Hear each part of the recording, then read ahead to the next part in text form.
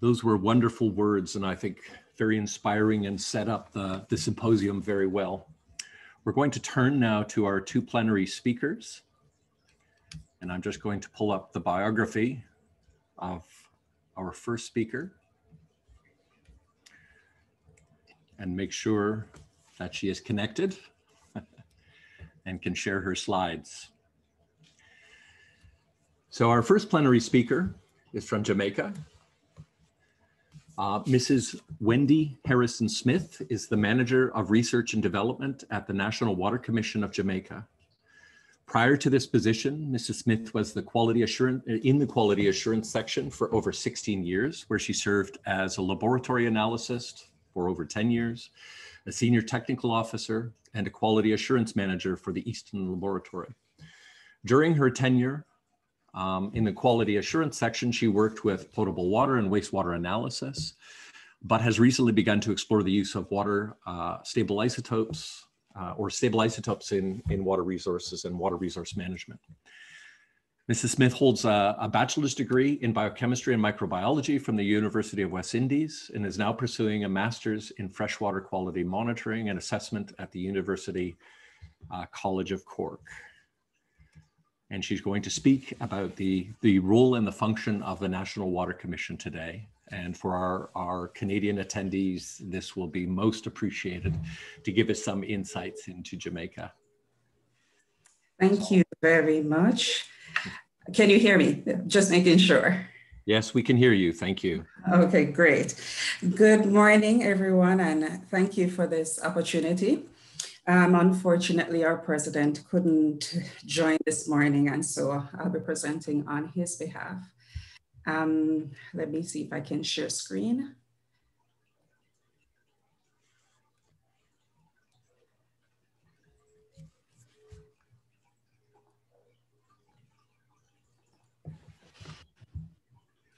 Okay. And so um, th this is about water, water potability and wastewater management in Jamaica and our role as the National um, Water Commission. So the National Water Commission is a statutory organization and we were established in 1980 through the amalgamation of the Kingston and St. Andrew Water Commission and the National Water Authority. We are governed by the NWC Act of 1980 within the context of the government of Jamaica, and we work with the water sector policy, which is aligned with our national development plans. The, water, the NWC is part of the Ministry of Economic Growth and Job Creation, with the water sector comprising of eight agencies. Um, these agencies include our regulators, which are the Ministry of Health, Water Resources Authority, um, Office of Utility Regulations, the National Environmental Planning Agency, and we also have our partners who are the National Irrigation Council, as well as our ministries and um, relevant agencies. The NWC has primary responsibility for the supply of potable water as well as sewage services to our populace. As the number one service provider in Jamaica, we serve over 75% of the population through household connections, and the remaining population, mostly in the rural areas, are served by small systems operated by the government through the parish council and also through private water companies. The NWC operates over 1,000 water supply facilities, inclusive of pumping station, wells, and our rivers and springs. And we also have over 65 sewage facilities island-wide. Our mission is to contribute positively to national development by providing high quality potable water and sewage services to our residents and businesses in a cost effective and sustainable manner. And our vision is by 2030 to ensure NWC is a well-resourced, responsive, customer-centric, efficient, and compliant employer of choice, achieving 85% coverage with 80% for water and 30% for sewage.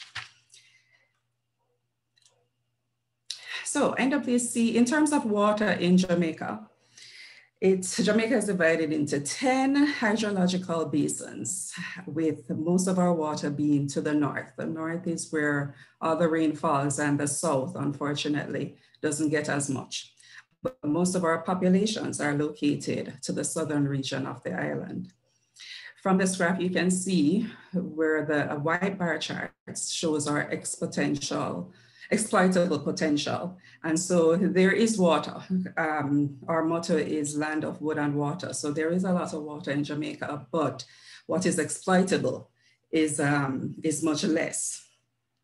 So the majority of our population is located south. And so the demand in the south outweighs the exploitable potential of the south. And over the next five years, it is projected that this demand on the south will outweigh what is exploitable and is of concern. Much of our exploitable water is not available due to allocation policies, as just about 8% of the total available resources is used by the NWC. But, and uh, sorry about that. This is due to more resources in the north section of the island and the greater demand in the south. Our cross-island transmission is extremely expensive and as such, we have uh, been using more of our groundwater. 75% of our available water is in the ground.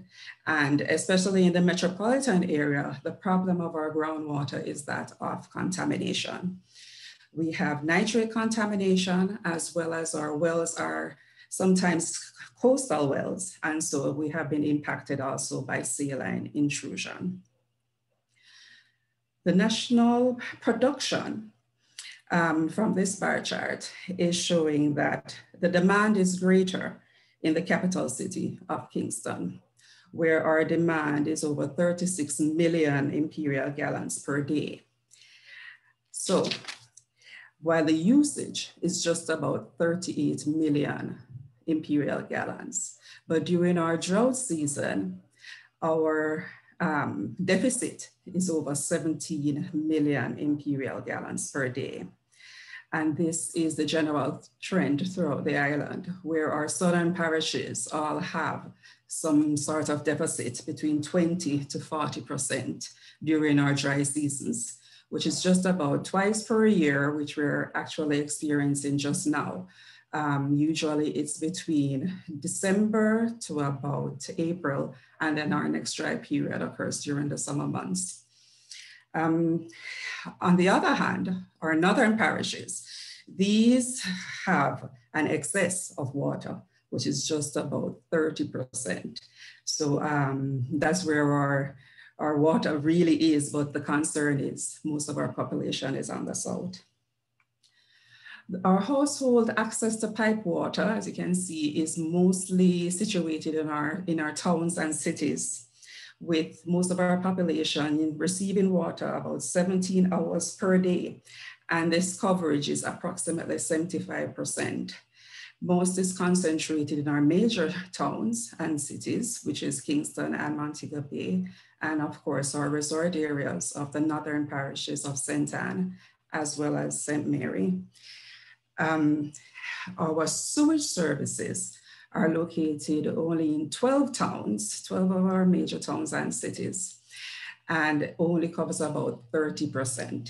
And so that is mostly in Kingston and our smaller towns of Spanish Town and um, in our resort area of Ocho Rios and Montego Bay, as well as Negril. Our water production facilities that we have is um, over 400 and our daily water production is 176 imperial gallons per day island-wide. Our well sources are the most at 162, while our rivers are 116 and our springs, which produce the least, are 147. And so our network is just about 10,100 kilometers. Our pumping stations are over 200 and over 300 storage tanks. And our water treatment technology includes chlorination for our springs and wells, and for our rivers, we conduct coagulation, flocculation, sedimentation, filtration, and chlorination for disinfection. In terms of our wastewater systems, we have over 67 and 95 pumping stations. Our um, facilities, though, are mostly older facilities, which are about over 30 years old, and as such are beyond their design capacities. As such, only about 38% of our facilities comply with the effluent standards. But over the last four years, the NWC has begun to rehabilitate some of these facilities with an aim to improve our wastewater treatment, as well as we are exploring the possibility of recycling some of our water for irrigation purposes. So our treatment technologies include aerated lagoon, wastewater stabilization ponds, oxidation ditch, tile fields, contact stabilization ponds, extended aeration, and septic tanks. Now our challenges. Um, NWC is, because we're located on a small state island, we are vulnerable to climate change and natural disasters. This has impacted our infrastructure, the water availability, as well as our human resources. We are susceptible to the effects of hurricanes and storms, earthquakes, sea level rise, and changes in our wet and dry season, which have been affected also by El Nino and La Nina effects. And so this has also impacted our human resources where at times it's difficult to reach um, some of these areas during natural disasters. Vulnerability of our sources is also impacted by development and industrialization, especially as our country becomes more industrialized and modernized with um, a growing economy. This too influences the state of our aquifers. Our aquifers are prone to contamination since we are a limestone country. And so the effect of nitrates and phosphates, as well as saline intrusion, has been noticed, especially in our towns and cities where most of our population is located. We have also seen the impact of um, industrial and solid waste and the on our domestic wastewater systems where at times our um, BOD and COD has really been impacted. And this also impacts these aging wastewater facilities. Another challenge is our high non-revenue water where we have an age distribution system and this is impacting our, um, our infrastructure becoming leaky. And so we have been on a drive to replace a lot of our distribution network. And unfortunately, NWC is not, does not receive subsidy from the government of Jamaica. And so NWC's recurring and non-recurring costs are financed through tariffs and loans. These sometimes are not enough to support all of our activities, in order to achieve full cost recovery, but um, it, it works so far. Now, some of our initiatives that have been implemented includes the implementation of non-revenue activities across Jamaica, across all our parishes.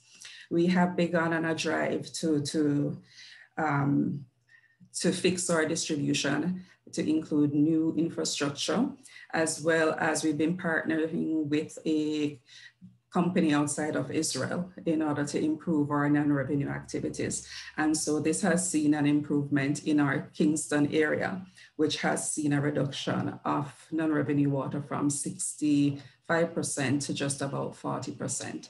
So this has moved out to the rest of the island and it is hoped to bring our non-revenue water down to at least 40 to 30% over the next few years.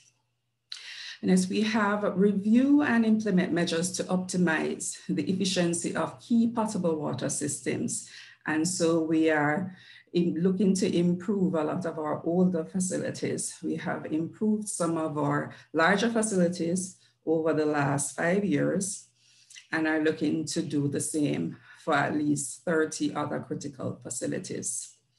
We are looking to reduce energy by some 2% um, through the improvement of the type of equipment that we use, in, as well as implementing some renewable energy strategies.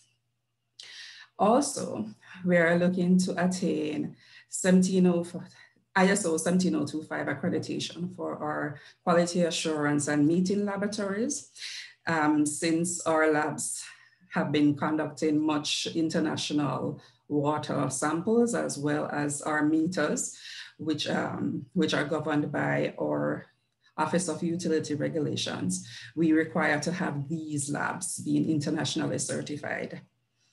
We are implementing an upgrade of our customer information system so as to ensure that our customers' needs are met, as well as to improve our overall um, customer-centric activity.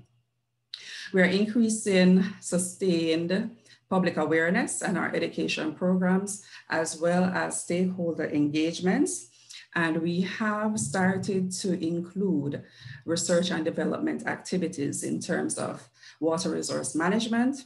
And this includes the use of stable isotopes in conjunction with the International Atomic Energy Agency, the IAEA, where we have been exploring um, our aquifers using water stable isotopes as well as um, N15, nitrogen 15, and looking at the age of these aquifers and seeing how much water is actually down there for us to use in the future, as well as to see what the properties of these waters are.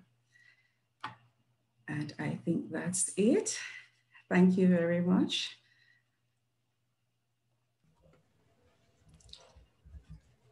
Thank you so much. Um, I'm sure some folks have questions if you're amenable to taking questions, just so sure. that we can get a deeper understanding.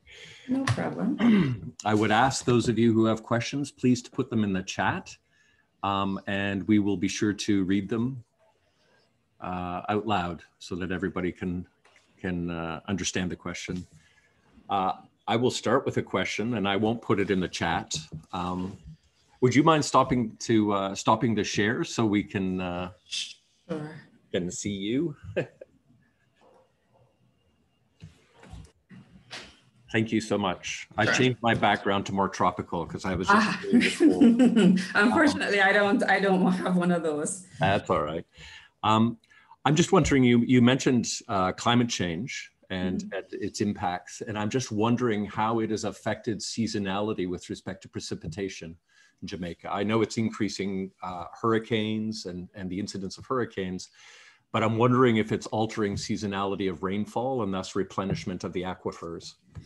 Um, yes, it has, because normally we could set our clocks by when the rain is going to fall, that our rainy season is usually October every year and April every year, but this has not been so for the past two or three years. Um, the droughts are getting much longer, our rainy season is much shorter um, and unpredictable. Now, we're not sometimes so sure when it's going to give us rain. Um, usually, it's a long rainy season of October, November, almost into December. But um, for instance, last year it was just October.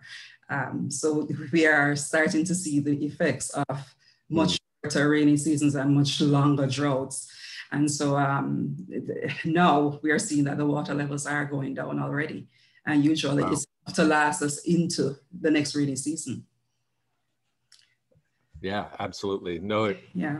Um, it's affecting lots. It, it's affecting us here too. It's mm-hmm. altering mm-hmm. precipitation patterns in in spring, and some parts of Canada are experiencing quite profound drought. So, so we yeah. can we can mm-hmm. certainly commiserate. Yeah, and it's not just Jamaica; it's the Caribbean. Um, all our Caribbean countries are are experiencing this problem um, wow. of the extended droughts.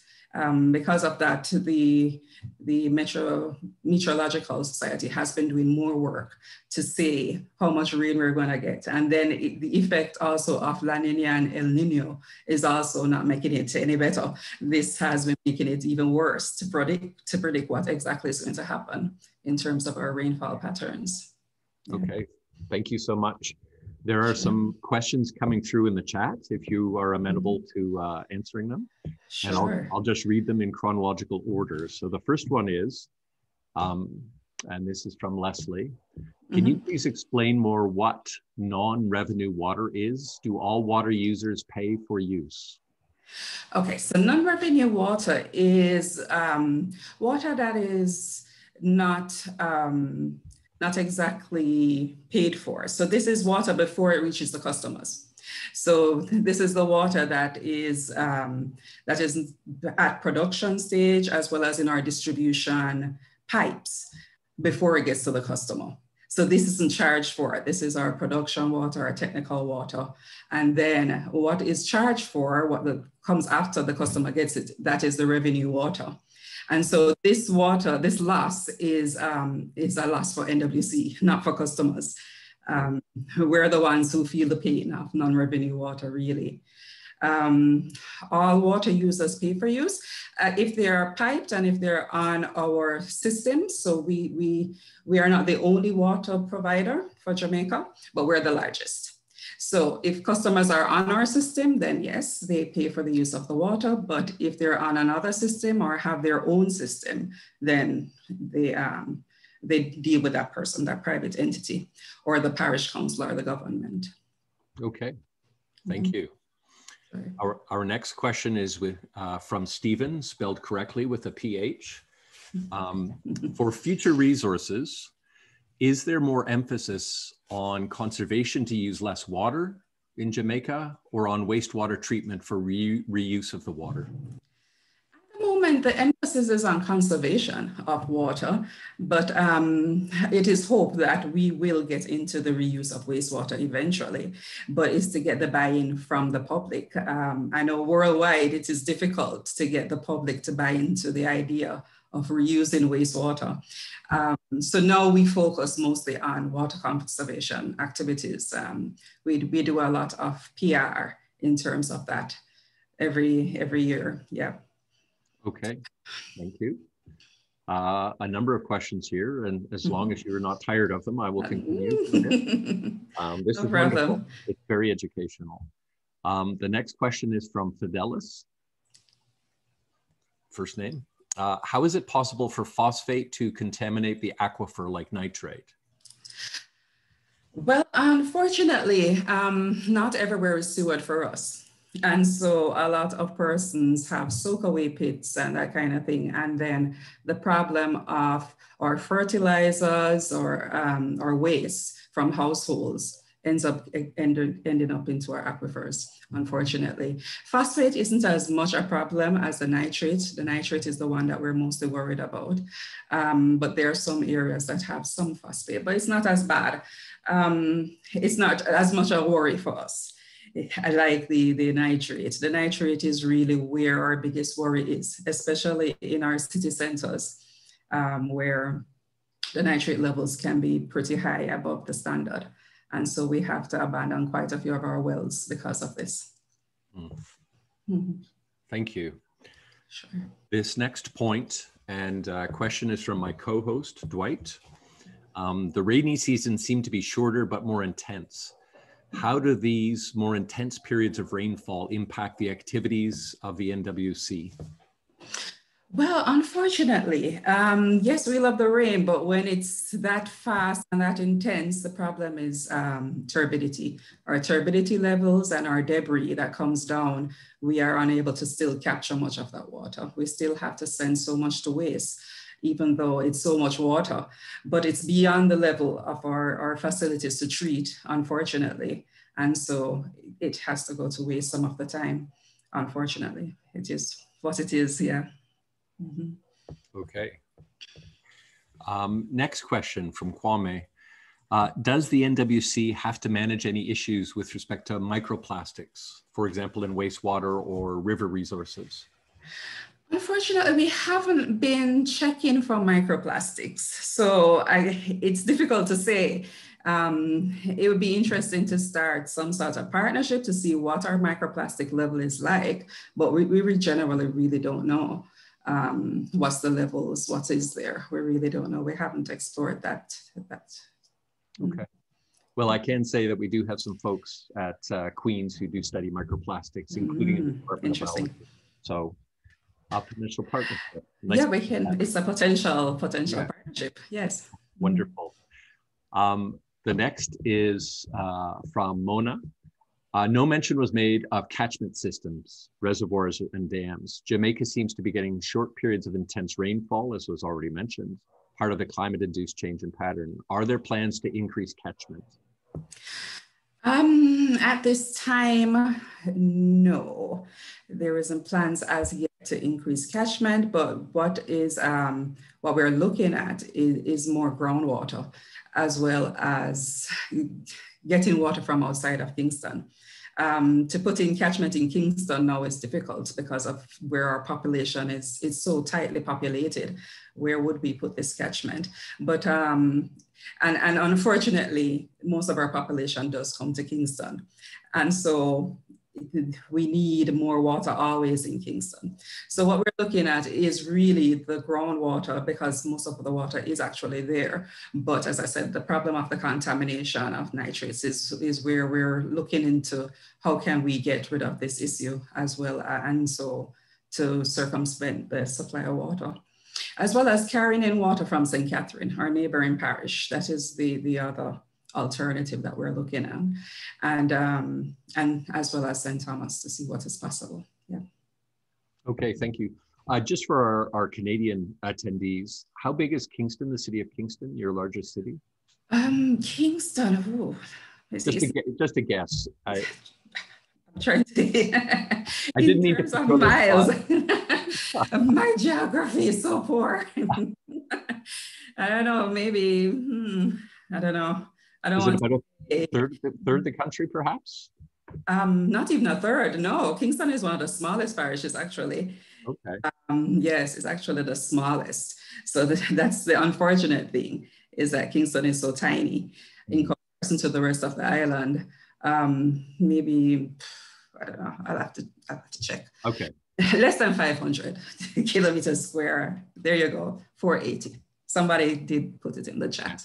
No, I, I actually meant, and I misspoke. I didn't state my question. I meant how many human inhabitants, how many? Oh, how many persons? Ah, population wise, I see. It's um maybe between 500, 750,000 Okay. people. Yeah. So quite a substantially. Yeah, Kingston is a lot.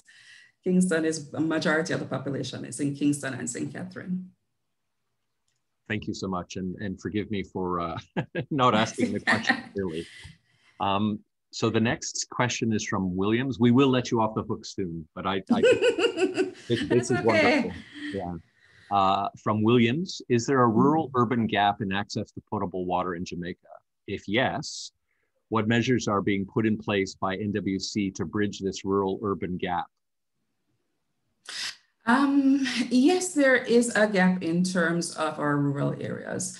Um, the, the cities, as we've said, are the towns, is where is generally pipe, having piped water. But there is access to potable water in terms of parish councils. So in terms of the government, more than the NWC, that the, uh, the government has put in place for the parish council to supply them with water more than the National Water Commission, because um, we are we are an entity that still has to make our own money and so it has to be viable for us not just um, the customers in order to put in these these facilities especially in deep rural areas.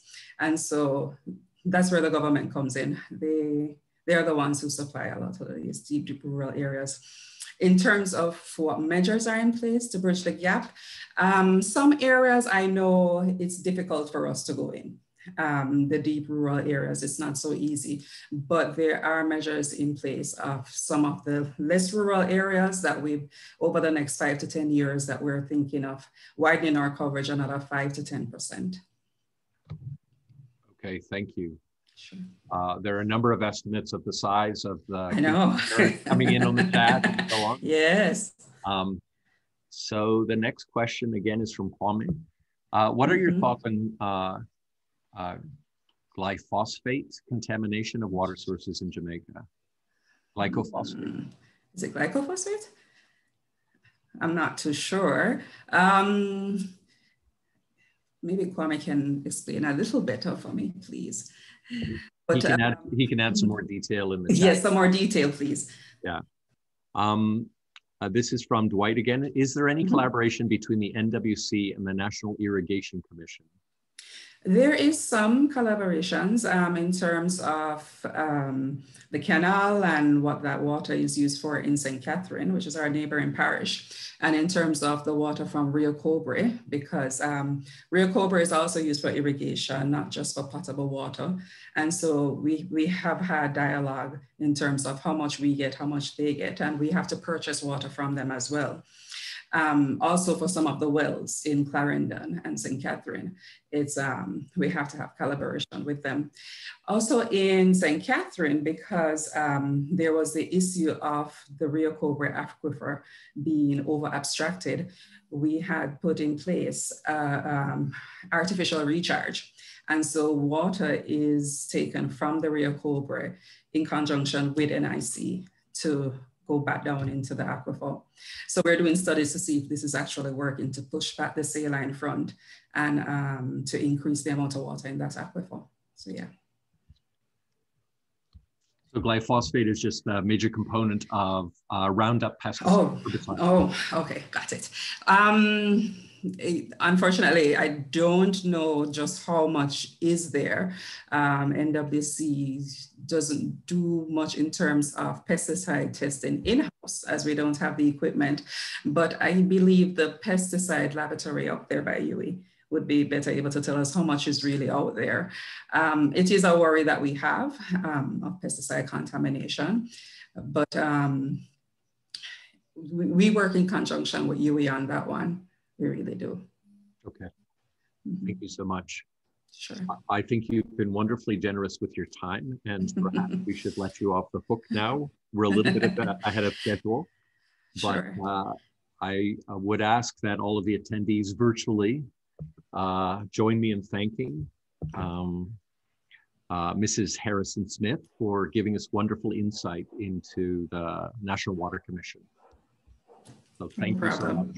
This, You're this welcome. Where, this is where we do the applause like that. yes. There we go. Yeah. Thank you. Thanks so much. Um, might I suggest if you all have been up since four like me and drinking tea and coffee that we take a, a short five minute break. And if our next plenary speaker is amenable, we can start uh, 10 minutes early at 10.05. So why don't we just take a, a brief break if that's okay. Hey, Stephen. Hello. Uh, yeah, um, yeah, I'm here. Just wanted to check in with you.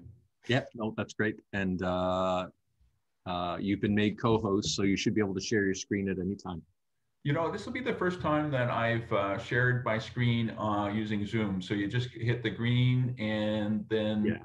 You just make sure that all your mortgage payments and everything oh, else that are all lying around on your desktop are not obvious. Okay. I've been caught a few times out with my chats being shown to, to people. Yeah. So, um, but yeah, you just hit the green share and it, it should come up there.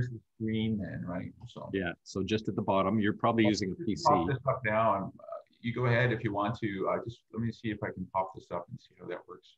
Absolutely. Uh, okay, so there's two options. There's the that one.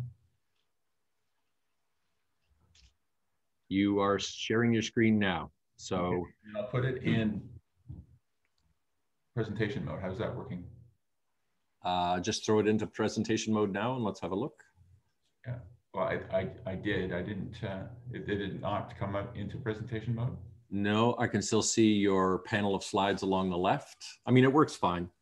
Um, yeah, but um, let's just see if I can't. Uh, so I share Okay, it's, it's, it's probably it's in the other monitor. Share. How about that? Is that working now? No, I still see, you know how there's the, the thumbnails along the left-hand side? Yeah, let me just try that. Probably because uh, I've got it set up with um, two screens. Come up on monitor. Right. I'll, I'll just change the, uh, I'll stop the share.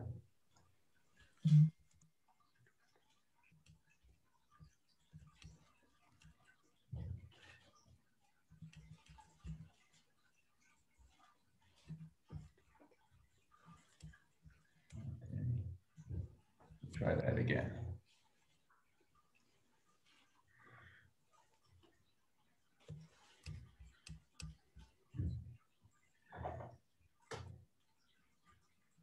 That's it. Got it? Yep. Right. Okay, sounds like we're, we're good to go then. I'll just leave it up if that's okay. Of course. Yes. Okay. I will just make use of the facilities and be right back.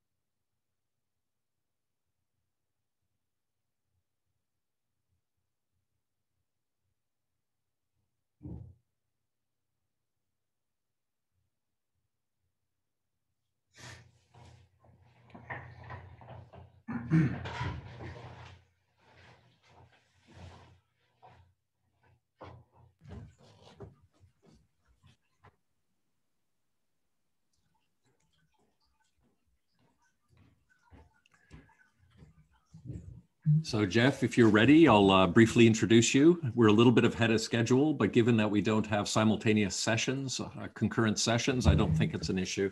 Yeah, no, you can, that's what's nice about the planner.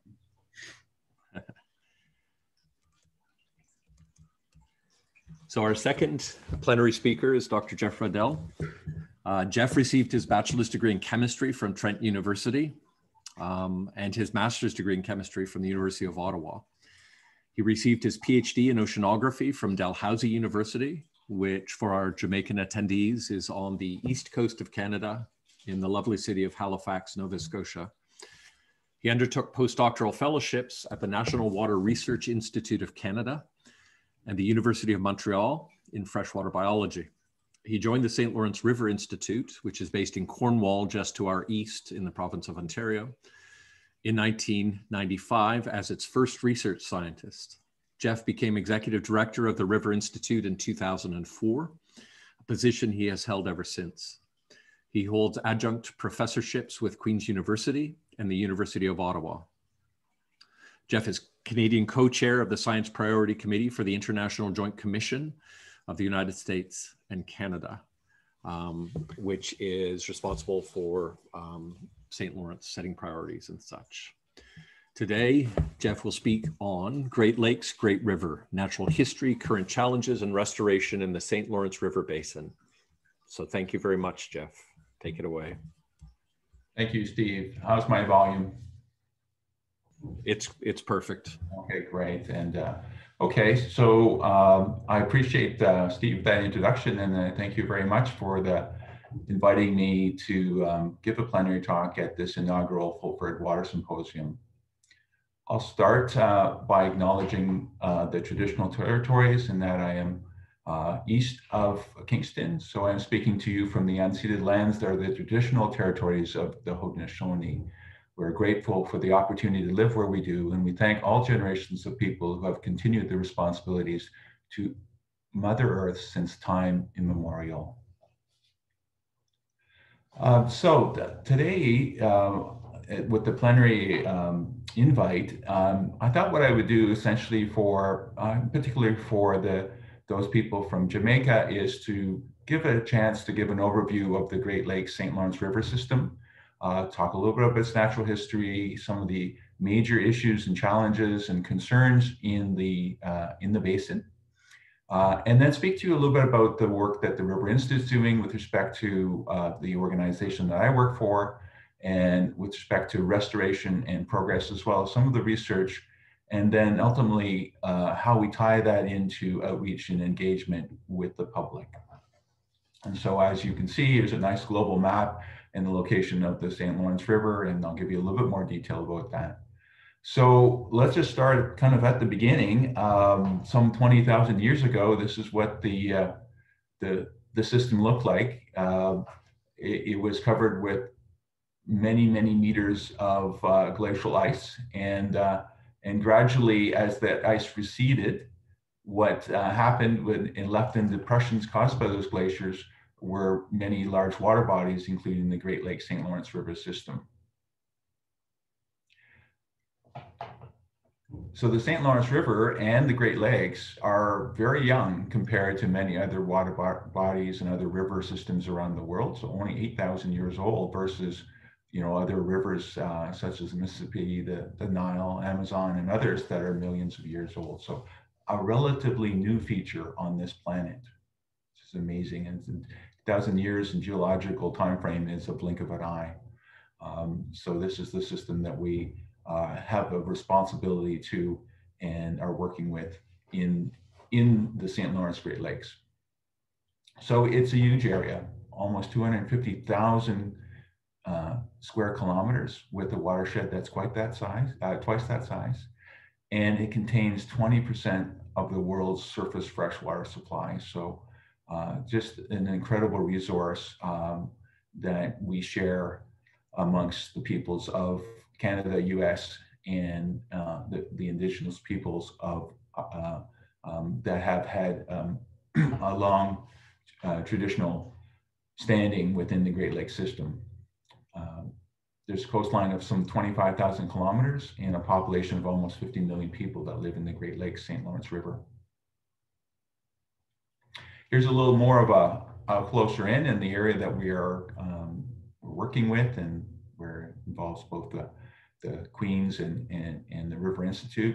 Um, so you have the, the end of the Great Lake system here at the Lake Ontario, which is the headwaters for the St. Lawrence River, which flows from west to east into the Atlantic Ocean. Uh, this, so here we are here at Kingston, uh, where Queen's University is located, and just as about 200 kilometers east of that is the city of Cornwall, uh, where the River Institute is located. That section of the river is often referred to as the Upper St. Lawrence River or the international section because it's actually that section of the river where um, was shared between the US and Canada. And thereafter, after, after Cornwall, the, the river essentially flows and is, is within the, the the country of Canada and the province of Ontario and Quebec. It's the 16th largest river globally by discharge, and it's also the entrance to the St. Lawrence uh, Seaway, which is a project that was built um, that resulted in major alterations to the waterway and allowed ocean-going ships uh, to enter to into the Great Lakes and make their way through a series of canal systems uh, and dams make its way all the way up to the headwaters in Lake Superior here in terms of those growing ships. So obviously there were some major alterations and as well as brought about a number of impacts uh, um, uh, due to that, um, the intrusion of these large ocean going ships into the Great Lakes system. So this area has had multiple stressors in environmental degradation. Uh, it's you know a huge area highly industrialized, um, a long history of industrialization, urbanization, as well as agricultural um, impacts and habitat changes. And, and so just to hit some of the, the major ones, that includes loss of biodiversity, uh, through habitat changes in invasive species, excess nutrients and algal blooms, uh, in intrusion and inputs of toxic chemicals and accumulation of those toxic chemicals into wildlife. And uh, currently, uh, climate change is another major impact. And I'll just touch on some of those to give you a little bit more of an understanding of what what what what these mean. So here's the here's that starting point for me in terms of here at Cornwall is the construction of the St. Lawrence uh, River Dam, the Moses Saunders Dam in the 1950s. And you can just see that this whole river was uh, under this major project. It was certainly one considered one of the most important engineering and, and impressive engineering projects at the time. Um, and um, and so it resulted in uh, construction of a number of dams and control systems. You can see here, again, we're on the upper St. Lawrence River and two major dams, uh, um, hydroelectric dams were created. Um, the Moses Saunders Dam, which is located at Cornwall, here, number three, and then the Beauharnois Dam that is in the province of Quebec. Um, and so, yes, there are obviously benefits in terms of water control, hydroelectric uh, production, shipping, but of course, from an ecological point of view, a number of significant impacts, including biodiversity loss from changing the, the natural flows of the river, and as well as ha ha uh, habitat fragmentation, fragmentation from uh, migrating, uh, for migrating fish. So the habitat fragmentation is certainly a major physical impairment within the St. Lawrence River system. And and, uh, you know, this, certainly the dams remove access to traditional spawning beds and increase the mortality for any fish that needs to pass through the dams. And the, the, the classic example of a fish that's been highly impacted as a result of this is the American eel, one of the most traditionally, one of the most important uh, fishes in the St. Lawrence and, uh, and Lake Ontario system. And what you have see here are some charts that show that the precipitous decline of the eel populations uh, at, through uh, counts. There are eel ladders, so they did install ladders to allow for upstream migration of, uh, of young eels, juvenile eels up into the system. You can see here, this is the, the life cycle of the American eel, which is just remarkable. It's a remarkable species. In fact, many people, even at Queen's University, have studied this, uh, um, this, this organism. It it spawns in the Sargasso Sea near our, our, our, um, our colleagues at, in, in, in, the, in the West Indies and makes its way as uh, um, gradually through its growth cycles into uh, the streams and rivers on the American coast, including the St. Lawrence River, uh, and makes its way into St. Lawrence and Lake Ontario, where it matures. And then, having reached maturity, and sexual maturity starts its journey back to the sargasso to spawn.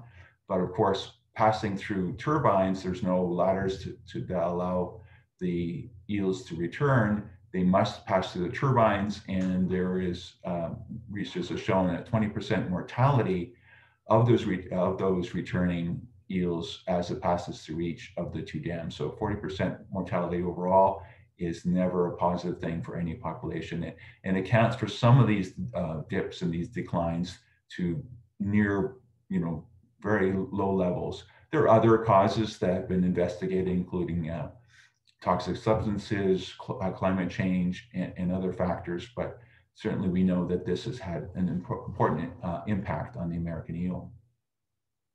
The other aspect is a little more insidious. It's the uh, stabilization of water levels from natural flows. And so what this graph shows here is the um, water level record uh, pre-dam and post-dam. And what you can see is how the water levels have been stabilized since the dam is in place. And, um, you know, there's positive impacts for those people, uh, uh, for riparian uh, uh, residents and other factors, but ecologically, this is not a positive thing as um, it allows for intrusion of and stabilization in areas where the traditionally uh, habitats of natural flora gradients would be in place, but what we have now, particularly in the Lake Ontario and St. Lawrence River, are stabilized, uh, are tail marshes that come in under these stabilized water um, regimes. And this has choked up uh, habitats for um, that would have been used for fish spawning and nursery. Uh, and, and species, native species like the northern pike have really been impacted in terms of their populations by these very dense cattail marshes. So this is a, another impact uh, as a result of this work. Allowing um, ocean-going ships and other intrusions into the St. Lawrence River Great Lakes has resulted in the introduction of invasive species.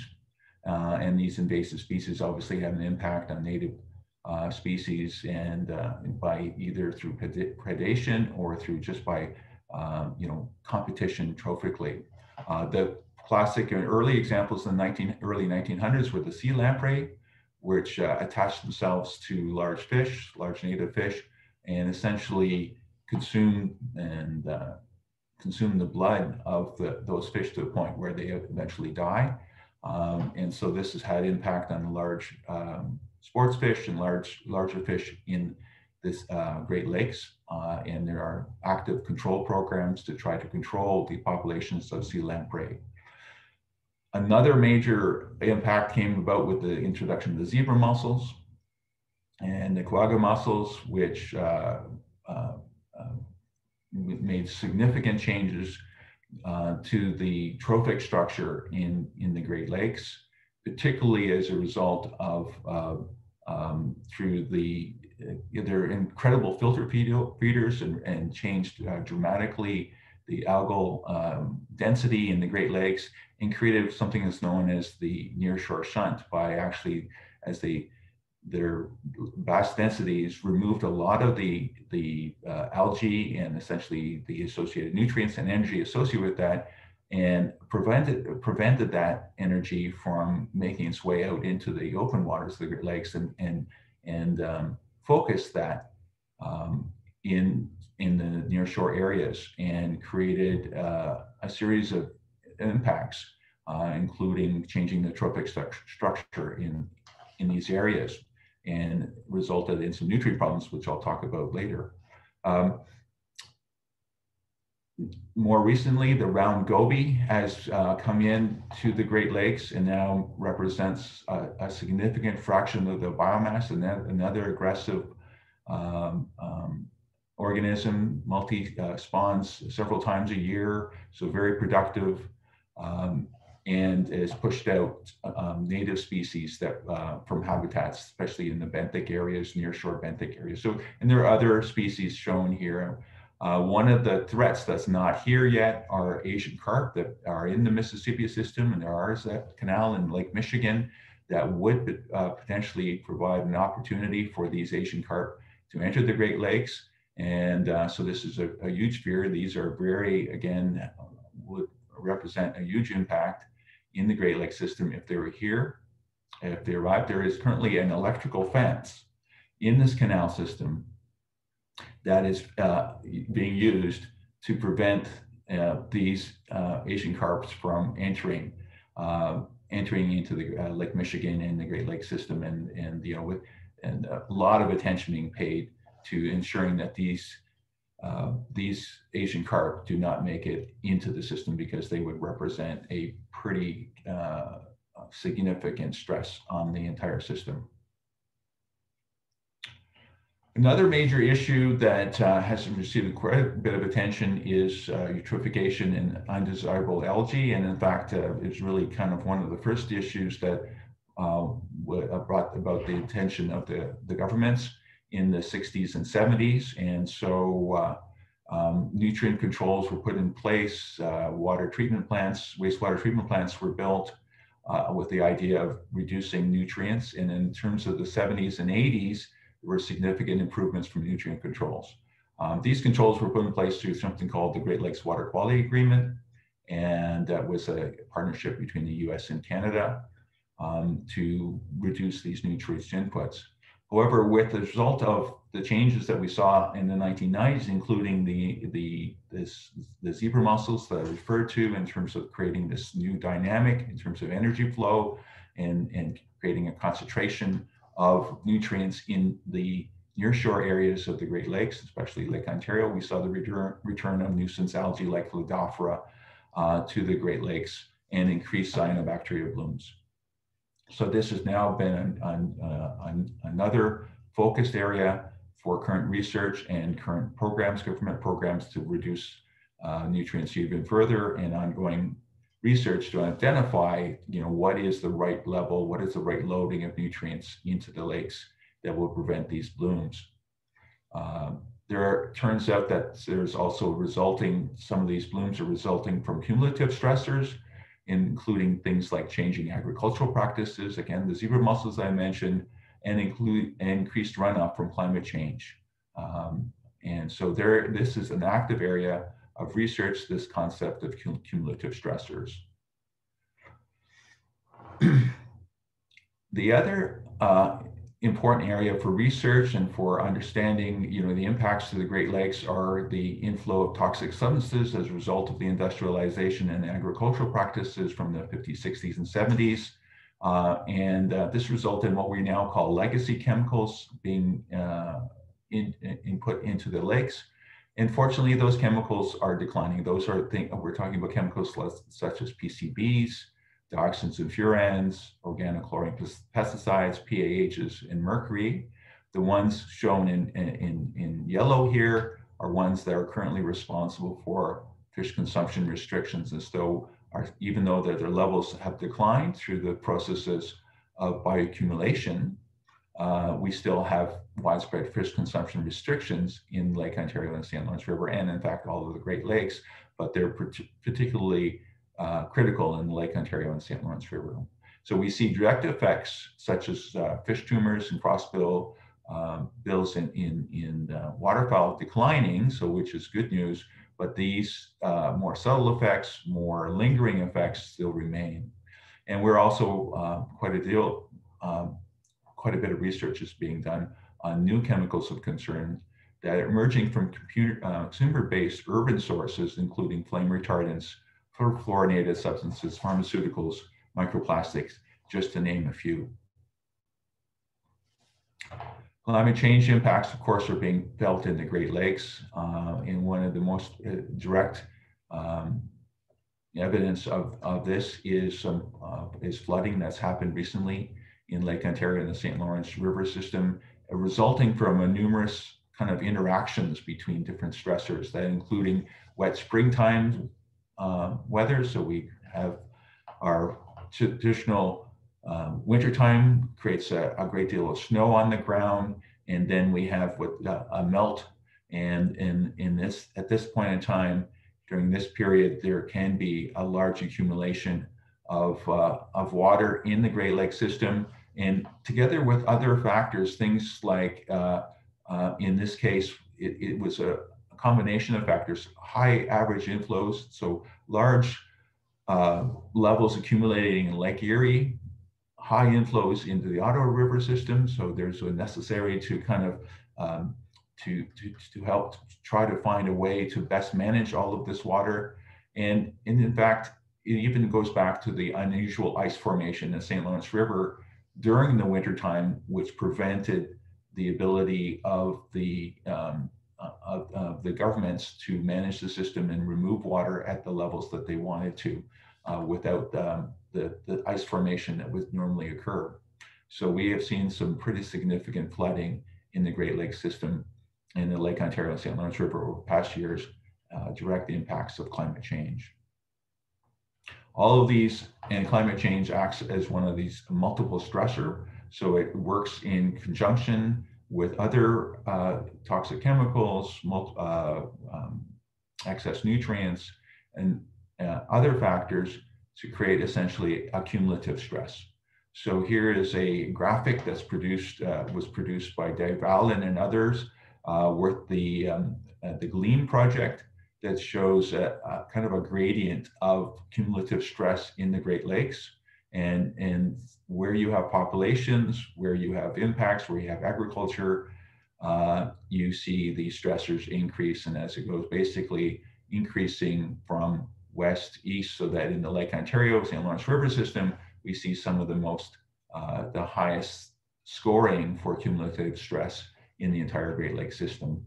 And a call from Dave um, uh, Sterner to say there's urgent need to understand whether the ecosystem response to multiple stressors is simply additive or involves synergistic or antagonistic effects. And I know there are some students that I'm aware of at Queen's University, they're actually looking at the, this uh, question right here. And so I believe that they are presenting um, later on in the symposium.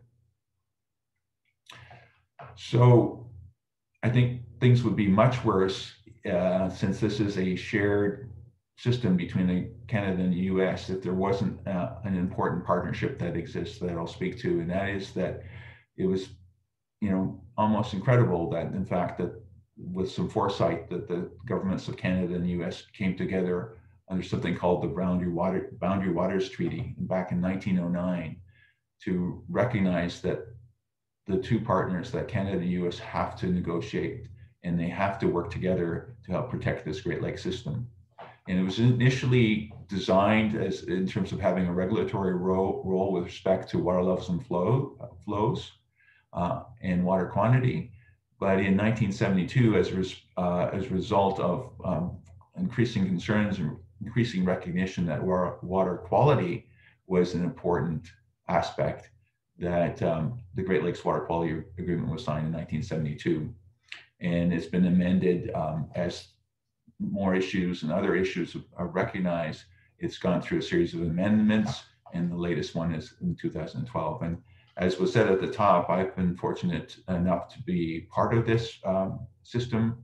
Um, there are advisory groups that advise the commissioners, and um, one of which is the Science Priority Committee, uh, part of the Science Advisory Board, and I've been the Canadian co-chair for the last um, uh, six years with the uh, the Science Priority Committee. So it's been a very interesting and, and uh, um, um, great opportunity to be involved in this system. One of the biggest programs that was put in place uh, through the Great Lakes Water Quality Agreement was the Great Lakes Area of Concern program, uh, which was um, the many different aspects to the Great Lakes Water Quality Agreement. But this one was meant to really focus in uh, in those areas that were most affected um, um, by heavy industry, by a cluster of heavy industry or, or other impacts um, that um, to try to make uh, differences in these specific geographic areas. So you see there were 43 Great Lakes area of concern on both sides of Canada and US. A number of them were binational, one of which was the St. Lawrence River here at the far part of the system, uh, centered at, at Cornwall Massena uh, where I'm speaking to you from today. So here you have is a more of a detailed graphic. So this is about a 50 kilometer stretch of the river. Actually, the Moses Saunders Dam that I mentioned earlier is just on the western border of this uh, system, and it opens up into an, a lake-like uh, uh, part of the, the river called the Fluvial Lake. And that's about a 50 kilometer stretch of the river uh, uh, uh, an important important area, um, concentration of, um, of um, sport fishing and, and uh, other activities. And most importantly, uh, was the traditional territories of the Mohawks of Akwesasne. So here you have this, this really interesting system uh, jurisdictionally. You through um, there is that uh, uh, international border that runs right through this territory of Akwesasne. So you actually have a US population and a Canadian population. Uh, um, but however, the citizens of Akwesasne see themselves essentially whole as whole as the peoples of Akwesasne and, and don't um, don't really see these borders in the same way that we do. And so they um, they are caught in the middle of this area of concern uh, because uh, due to the formation of the dam, the cheap hydroelectric power, and just the kind of the traditional uh, importance of this area, major industries uh, uh existed in the 1900s, uh, both on the, on the Canadian side and the American side with their own individual impacts. And so this area of concern was identified and, um, a, um, something called a remedial action plan was established. And in this process, this led to the formation of the organization I work for, the River Institute, as a nonprofit organization that was dedicated to research on the river to protect the biodiversity and ecological function, and to support these restoration programs. We also work to broaden education outreach activities and grow partnerships locally and globally with the view to create and maintain healthy and sustainable river ecosystems. So we have been involved quite a bit with this area of concern and the remedial, action uh, plan program. The goal of the program is, is to improve conditions within the ecosystem that are heavily degraded to those that are equivalent to the non-degraded areas in the Great Lakes and through a multi-phase process. Um, essentially, it's, it's identifying the key concerns, developing restoration activities to, uh, to achieve delisting targets, to achieve the improvement um, that is desired, and then to report out through a consultation process uh, with all of the partners uh, on the, the, improvement in the system and to document that and then to um, you know with the with the agreement and through this collaboration to essentially delist the area of concern. That's a long-term goal. So what meant was a lot of uh, projects on the ground called remedial action plan projects uh, brought about through government and community partnerships. Um, and some examples included larger industrial and municipal projects to uh, improve standards and improve treatment processes, and track sources and, and, and mitigate those sources. Uh, agricultural projects, because in fact, uh, uh, a large uh, part of this watershed is, is heavily agricultural. So there needed to be improvements to the habitats, to the agri agricultural practices in containing, you know, agricultural um, discharges and working with local landowners through uh, with government programs to in, improve the habitat and to ensure that runoff was minimized or is minimized. One of the areas the River Institute has been most active on is research on mercury, which was, uh, there was a source in Cornwall, uh, a chloralkali plant that discharged tons of mercury over a course of 100 years into the system. And you can see the sort of uh, some of the the um, in the early years shown in the red here are the um, very uh, higher concentrations of mercury particularly along the north shore because the hydraulics of the river kind of contains as it flows from uh, west to east kind of contains those inputs along the north shore of the river.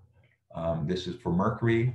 And so what we needed to understand were the inputs, the processes that were involved, um, the processes of food chain transfer, and to create models and undertake detailed monitoring and mapping to, to, to, to be able to document the recovery processes. And you can see through this series of maps that uh, stretch to from uh, 1979 to 2008 that gradually the system is recovering primarily as a process that as uh, sources in the Great Lakes, sources that in, in Cornwall and upstream where mercury was formerly used have been um, essentially those taps have been turned off and now we have cleaner sediments that are uh, overlying the, um, the, the formerly um, contaminated sediments in the system essentially through a kind of a natural re, reformation. But understanding the impacts and, and, and those areas are most impacted is part of this research.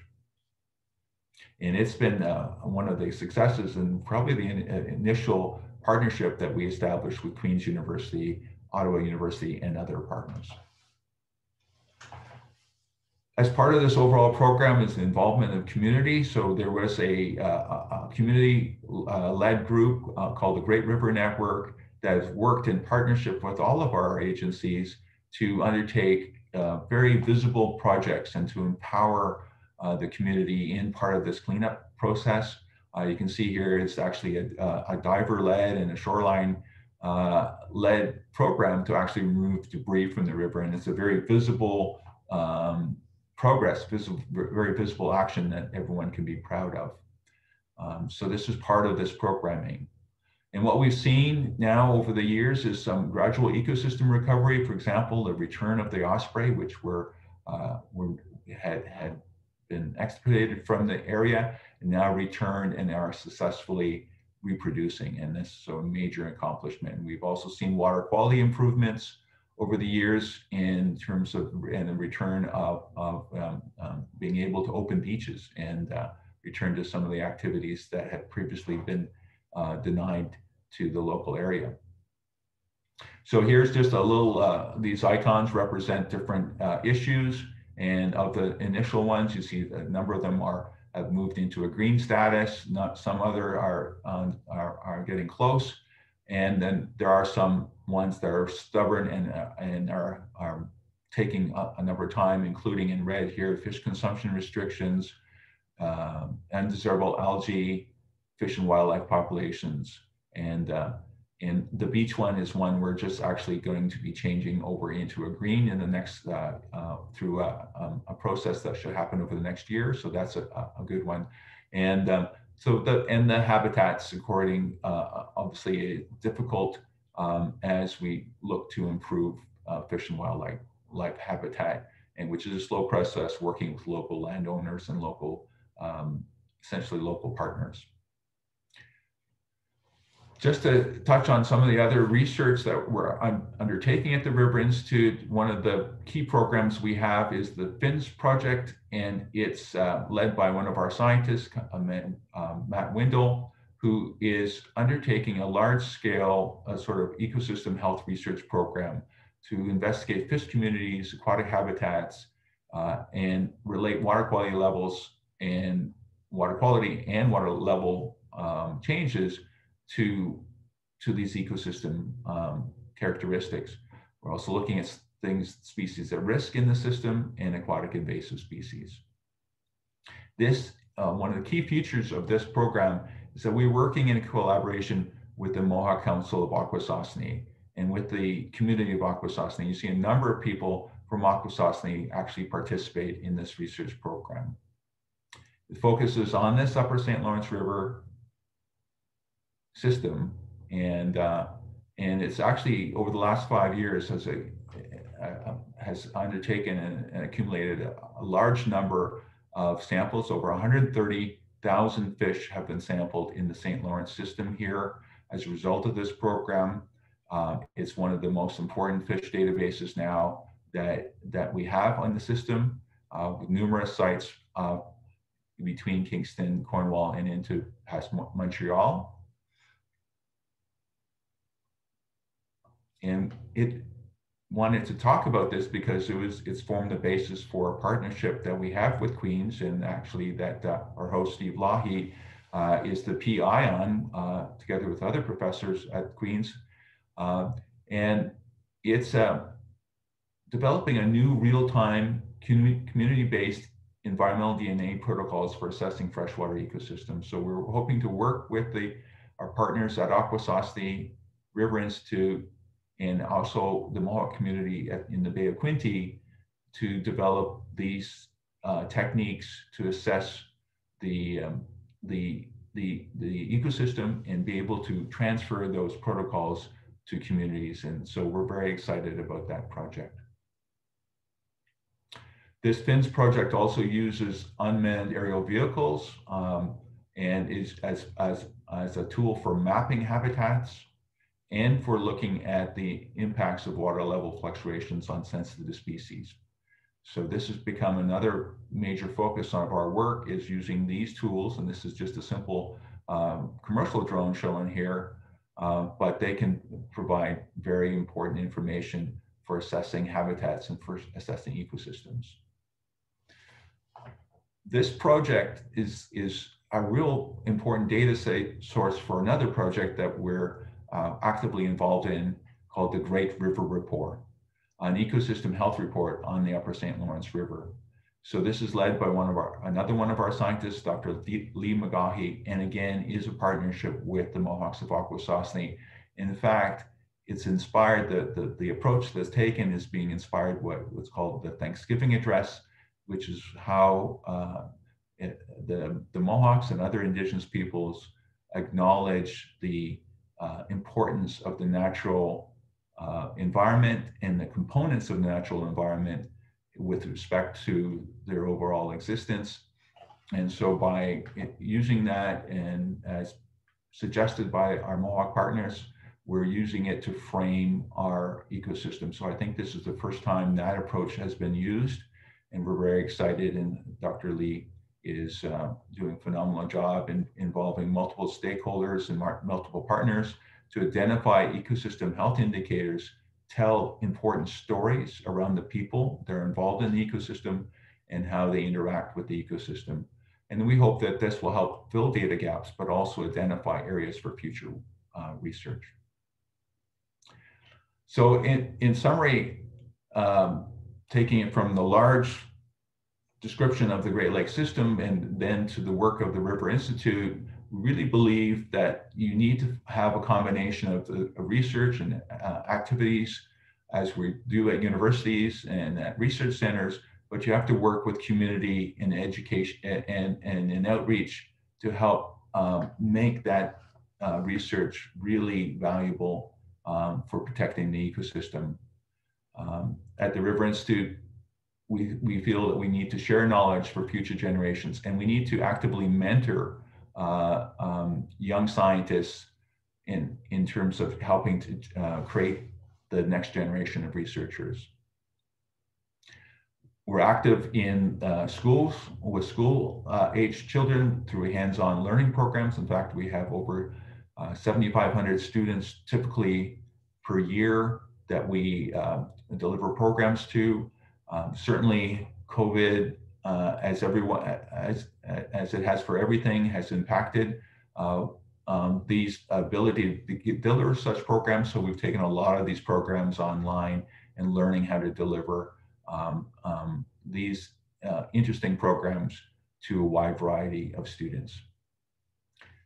Another aspect is our broader community outreach, so not to within school systems, but into the broader community one of which is our Science and Nature speaker series, which is now online. It can be um, viewed anywhere by anyone, anywhere, um, uh, monthly, and that's a speaker system, uh, speaker series to help bring science to community.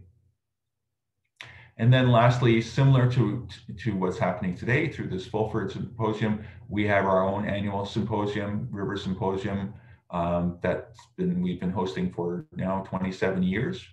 Uh, and the most recent version was held this past October. Uh, we, we held it again online, just as this one is done. And in fact, you can still go to the, um, to the website here and see some of the recorded sessions, including a phenomenal talk that was given as a plenary talk by Abraham Francis, who is the environmental director at the Mohawks of Akwesasne. So I would definitely suggest you check that out. So we believe in a sort of an inclusive and adaptive governance model for the Great Lakes and the St. Lawrence River system in which you work with communities, research is important, but you share that knowledge. And by understanding, and sometimes the communities tell you the research that is needed. And so by working in, in partnership with communities uh, and, and informing actions and informing decision making, we can work towards creating a healthy river um, system and a healthy Great Lakes. And that's the end of my presentation. Thank you very much. Thank you very much, Jeff. I've, I've moved to a, a, lunar background, so just switching it up a bit for myself. Um, would be you be amenable to uh, having some questions asked of, of your presentation? Certainly. So I would ask again any of our attendees to uh, um, put questions into the chat and, and I will ask them. Um, maybe I could start. I, I, know in the Western United States that there's a movement towards blowing up dams. Now I realize at Cornwall, they're not going to blow up that big one, but I'm wondering uh, about in Eastern Ontario and Western Quebec, whether there's a movement on some of the smaller tributaries to get rid of these damming structures that do influence runoff and things like that. Yeah, so, and there are thousands of dams in the, in, in the Great Lakes system. And uh, um, the, the ones, the the focus areas that I've seen is, spe- is, specifically smaller dam structures, and there was one uh, locally in uh, the St. Regis River that has happened. That where you can show that by removing that dam, that you increase uh, the uh, access to habitat. So probably the most successful program is is is been through in the in the U.S. Uh, along the southern shore of Lake Ontario, where the U.S. Fish and Wildlife Service has an actual program dedicated to identifying those low low rise dams and and in improving contact, uh, connectivity. And there's been a number of uh, successful projects there. Um, I, I, can't think of too many uh, examples, though, in Canada where we have um, have done, and if others who are in the audience are aware of them. Um, but um, it, it is something that I believe is is highly needed and can be done successfully. Um, and uh, much of the dams, mostly uh, Ontario Power Generation, is um, looking to uh, assessing where they could do that. There's a lot of potential impacts, of course, uh, over in terms of when you remove the dam, uh, you know, it's it's not a simple thing. You've got to ensure that restoration is done and that you didn't, uh, in fact, make the system worse than it was before. So I think there that there's some interest in it, but the, I, I'm not aware of too many examples in Canada, in Eastern Ontario, where that has occurred. Okay, thank you. So I'm just going to the chat here. We have a number of questions. This is from Fidelis. Canada and US share the management of the water um, presented here. Is there any stipulated agreement specific to this water management or management governed by their country of rule? I guess is talking about uh, the United States and Canada, whether there are local uh, um, laws um, how was it, or what was the, or how was the challenge resolved in terms of using water for development? I guess that's because it's a shared resource. So how are those kinds of issues resolved? Yeah, so I had um, spoken to the this this concept of a boundaries water treaty. Uh, that was the partnership between the U.S. and Canada and the Great Lakes Water Quality Agreement. And so the Great Lakes Water Quality Agreement with the um, the International Joint Commission, which was identified as sort of this this uh, um, binational body uh, to advise the governments on the um, you know actions should be taken in the Great Lakes. And so, I mean, that is the central uh, uh, mechanism by which uh, decisions are discussed and shared in, in through this Great Lakes uh, Water Quality Agreement. Um, there are several structures in there. There's, there's, also something called the Fisheries Commission to deal with fisheries issues. Um, and so on the water quality side, um, um, it's the Great Lakes uh, Water Quality Agreement, but then there's there's there's fisheries, there's also water levels uh, as well. That so there's usually on any of the shared water there is a mechanism to um, sort of identify management actions and and resolve any differences. Um, and then in Canada, what happens is that uh, then Canada kind of forms that those um, um, that initial relationship with US, but they know that there's a lot of some of these waters, the jurisdiction is the province of Ontario. So there is a process in which Canada and then the province of Ontario have a negotiation called the Canada-Ontario Agreement, and that sets up a, a series of uh, agreements about what actions are going to be taken. Um, and this is actually one of the areas where then there are opportunities for um, um, um program um, organizations such as the River Institute to um, propose contributions to that agreement where they once that agreement is struck they um, there are opportunities for partners to um, to apply for funding actually to undertake projects that would for example being on the uh, river system to to assist the governments in helping achieve some of these desirable outcomes. So that's an answer. I mean, there's a, it's a very complex question, and, and there's a series of uh, very overlapping and, and connected um, uh, mechanisms by which the U.S. and Canada um, work together on the Great Lakes and all boundary waters. In fact, the Boundary Waters Treaty is all boundary waters uh, across the U.S. and Canada. Okay, thank you. Um, whole bunch of questions for you, Jeff. Um, this is from my co-host Dwight. You mentioned declining levels of legacy chemicals. is the fact that they are still present just due to the high persistence of these chemicals, or are there still some sources of these chemicals getting into these aquatic systems? It's a great question because really this is uh, this is uh, um, the result of of ongoing research too is that to understand just where the sources are. So the prevailing feeling is that most of the the the large sources have been identified and, and through legislation, these legacy chemicals like PCBs, you know, they, they, they're no longer being manufactured and no longer being used now for many, many years. Uh, but so the number one reason why they still exist, why they're still a problem in terms of they, they're driving fish consumption restrictions in Lake Ontario, um, is because they're very persistent. They, they remain in the sediments. Uh, they particularly accumulate in sediments and, and um, once in the sediments through food web transfer, through, you know, consumption of benthic invertebrates by small fish, uh, and then, you know, transfer up the, up the food web, lake trout, and, and, and, each time they transfer, it in, increases in concentration through a process called bio, uh, biomagnification. Uh, lake trout in in the uh, in Lake Ontario, uh, a prized uh, sport fish, um, still remains in uh, with a high concentration or high enough concentrations to enforce fish consumption restrictions. Um, but the other thing, the interesting thing is, is while we believe that you know most of these sources have uh, been, uh, you know, actively active sources have been um, mitigated there are these legacy, uh, potential legacy sources. And maybe I'll switch over to mercury because this is the one that is an issue in the St. Lawrence in, in my local area. Um, so you have a, an industrial site that where um, mercury, tons of mercury was used because it was a chloralkali plant.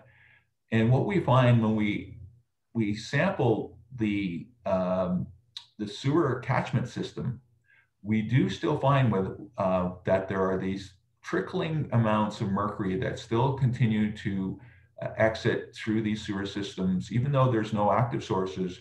There is these contamination sources that are buried somewhere uh, along these industrial sites that still uh, show that there's elevated levels uh, being discharged into the system, and that is the challenge. That is the challenge to identify those system, uh, those sources and being able to remove them. So um, it's a it's a it is something that we still are, feel that there are some sources out there. Um, I can give you other examples, mostly because it's not active sources, but it's just the fact that there are these um, industrial areas, particularly where contamination has not completely been removed from it and can act as a way of getting into the system. Thank you. Our next question is from Dexter Dean.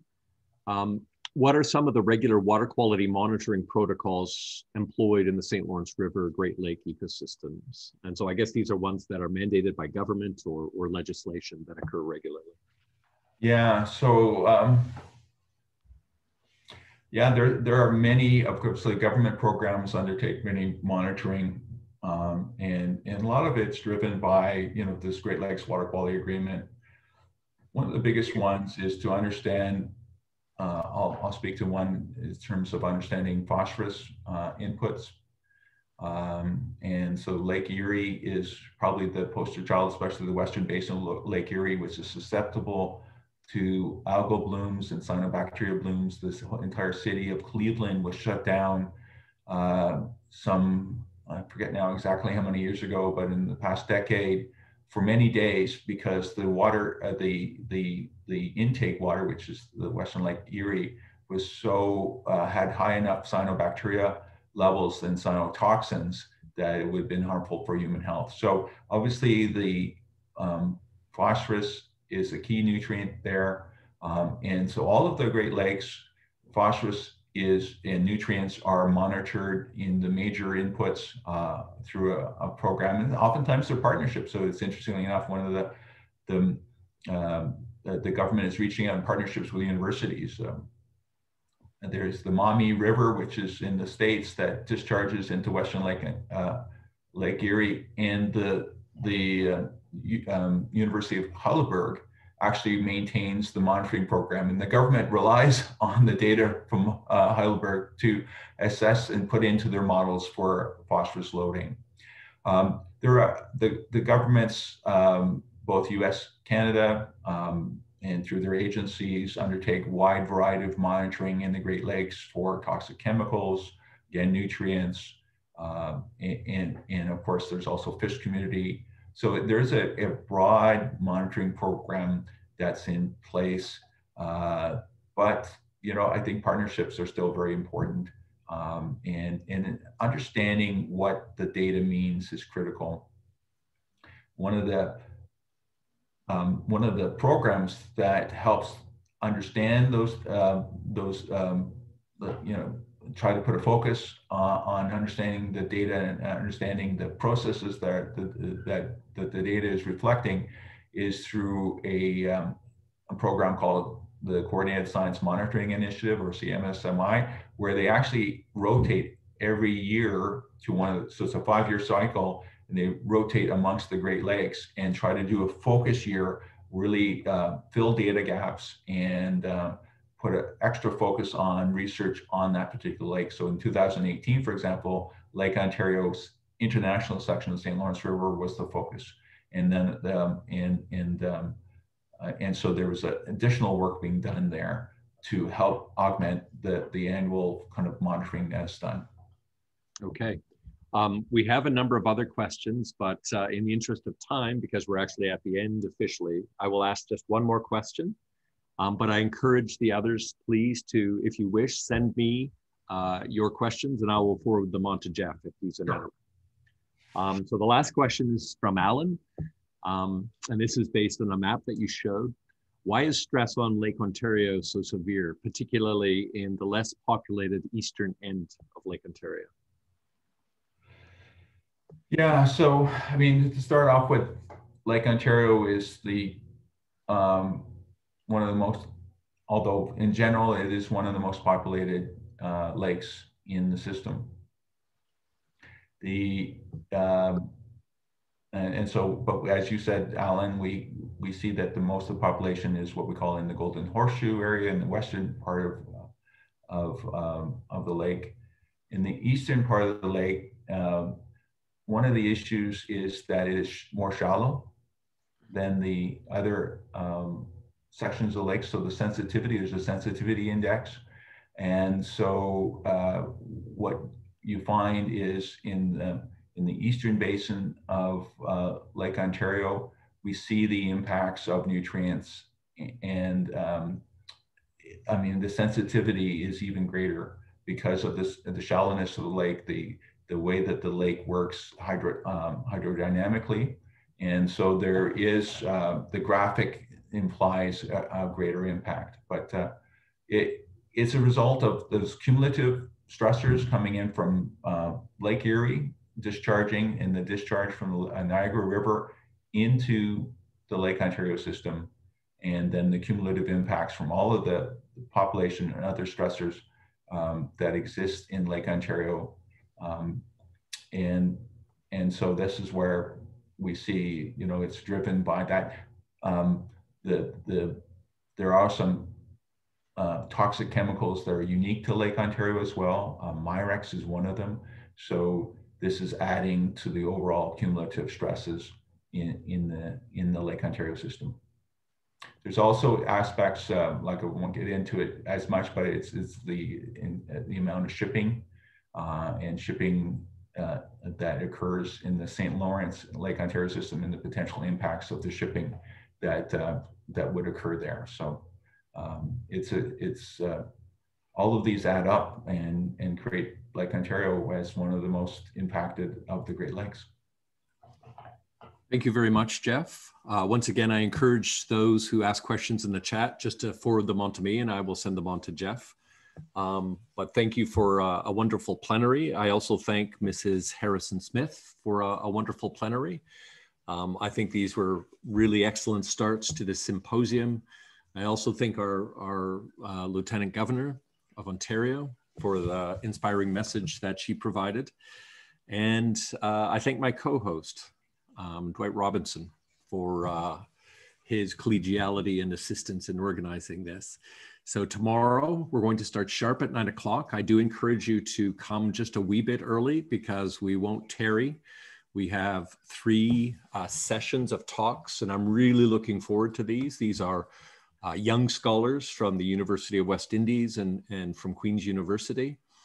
And then I hope that you will hang around into the afternoon. We're going to have some breakout sessions where we're going to plot to or, or discuss how we might deepen the relationships uh, among uh, researchers and and teachers at our two institutions. So I do hope that everyone comes back uh, and will help us to make this a, a wonderful and uh, rewarding first session of the Fulford Symposium. So thank you for attending. Thanks again, Jeff and Mrs. Harrison Smith. And uh, we'll see you all tomorrow, I hope. Bye now. I know.